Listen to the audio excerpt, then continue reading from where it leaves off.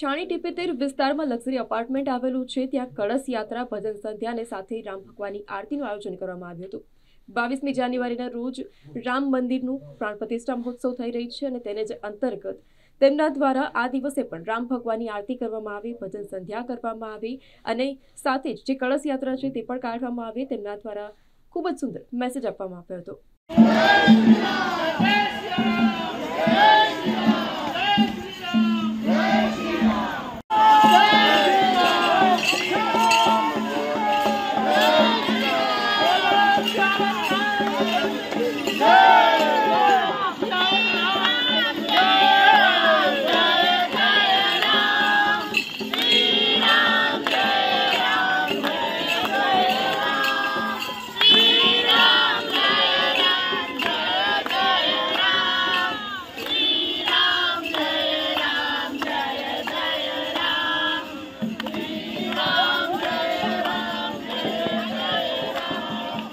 આજ રોજ આપણે સમસારા લક્ઝરી અપાર્ટમેન્ટ કે જે ટીપી તેરમાં આવેલું છે ત્યાં આપણે કળશ યાત્રાનું આયોજન કરવામાં આવ્યું હતું અને એની સાથે સાથે ભજન સંધ્યાનું પણ આયોજન કર્યું હતું.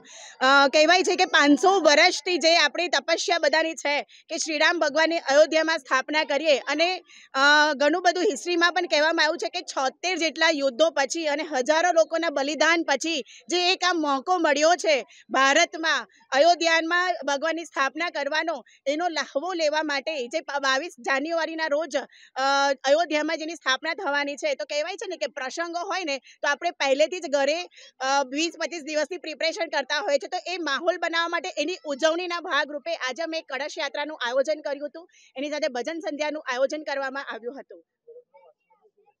વડોદરા વાસીઓને એ જ મેસેજ આપીશ કે આ એક શું કહેવાય કે એકદમ લાહવો છે એને લઈ લેજો. આના એક સાક્ષી બનજો. આ એક આપણી જે બાવીસ કેટલા વર્ષો પછીની આપણી જે આ સિદ્ધિ છે એ પ્રાપ્ત થઈ છે, તો એનો એક લાહવો લેવા માટે હું વિનંતી કરીશ. અને આમાં આજે અમે કહી શકીએ કે સંઘ પરિવાર તરફથી પણ અમે લોકો ઘરે ઘરે જઈને અક્ષત આપવાના છીએ.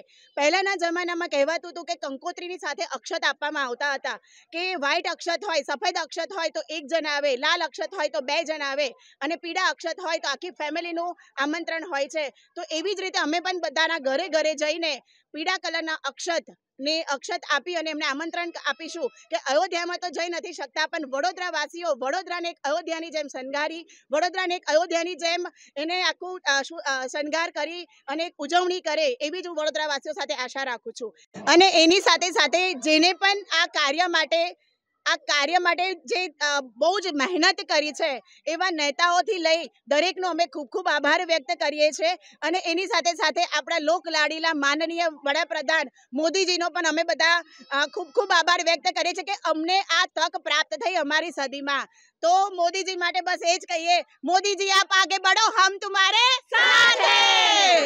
અને વડોદરા વાસીઓને હું એ વડોદરા વાસીઓને નહીં, આખા ભારતને હું એવું કહેવા માંગીશ કે પાંચસો વર્ષ પછી આપણને એક આ સિદ્ધિ મળી છે પાંચસો વર્ષ પછી આપણને એક આ તક મળી છે તો એને જવા ના દેતા એને આ સાક્ષી રૂપે આપણે એને ખૂબ ધૂમધામથી ઉજવણી કરીએ એક ફરી દિવાળીની જેમ ઉજવણી કરીએ એવી જ આશા સાથે અપેક્ષા के लिए ये प्रेरणा दे कि हम आगे बढ़ेंगे हम सनातन धर्म की रक्षा करेंगे हम हिंदू सब साथ होंगे तो हम सबकी एकता होगी और हम लोग आगे बढ़े अपने धर्म की रक्षा करें अपने हिंदू परिवार को आगे बढ़ाएं हिंदू धर- राष्ट्र की रक्षा करें जय श्री राम